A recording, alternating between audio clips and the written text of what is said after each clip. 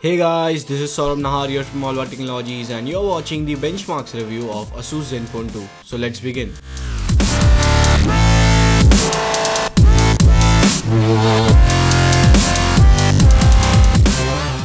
So starting off with the multi-touch points, let's see how many multi-touch points do we have.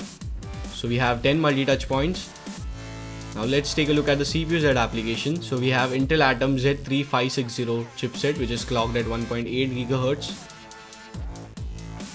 And you can see that we have a GPU which is PowerVR G6430 GPU.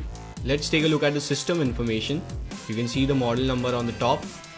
Android 5.0 Lollipop, the screen size is 5.47 inches and the resolution is 1080 by 1920. You can see the available RAM and internal storage. Here is the battery related information and you can pause the video and see the sensors in case you want to know that. There are a lot of sensors on this device.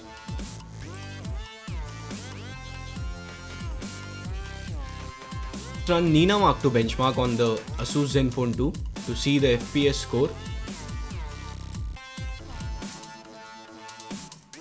And the score is here 59.6 fps which is really good. Now let's run quadrant standard benchmark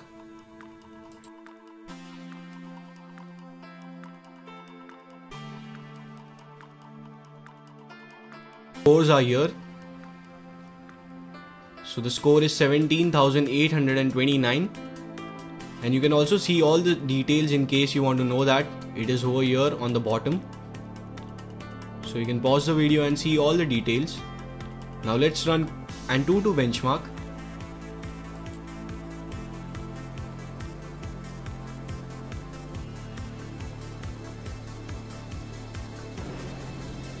And the scores are here. The score is 40,542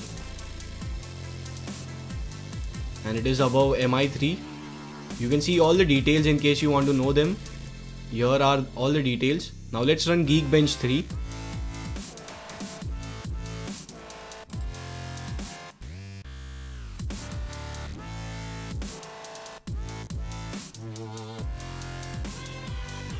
The scores are here 732 for the single core and 2251 for the multi-core.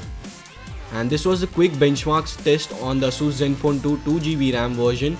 And I'll be coming up with a lot of videos on Asus Zenfone 2 so stay tuned for that. Hit that subscribe button right now. And you will be notified regarding all my videos. Also hit that like button if you liked my work. And you can also watch my unboxing and gaming video on the Asus Zenfone 2 you can see it over here. So that's about it guys. Thank you guys for watching. This is Saurabh Nahar here from All About Technologies